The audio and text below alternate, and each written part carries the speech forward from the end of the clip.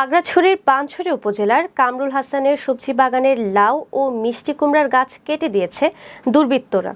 উপজেলার পাঁচ নম্বর উল্টাছড়ি ইউপির জিয়ানগর গ্রামে এই ঘটনা ঘটে। রবিবার সকালে সবজি খেতে পানি দিতে গিয়ে গাছগুলো কাটা দেখতে পায় কামরুলের সহধর্মিনী খুশিদা। এ সময় তার আর্তচিৎকারে ছুটে আসে প্রতিবেশীরা।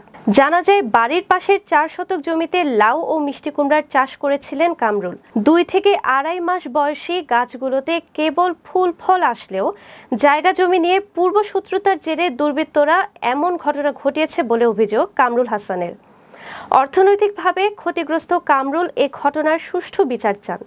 এ ব্যাপারে থানায় অভিযোগ করবেন বলেও জানান তিনি। উল্টাছড়ি ইউপি চেয়ারম্যান মোহাম্মদ আহির উদ্দিন জানান, খবর পেয়ে ঘটনাস্থল পরিদর্শন করেছেন তিনি। এই ঘটনার তীব্র নিন্দা জানিয়ে তিনি সুষ্ঠু বিচারের দাবি জানান।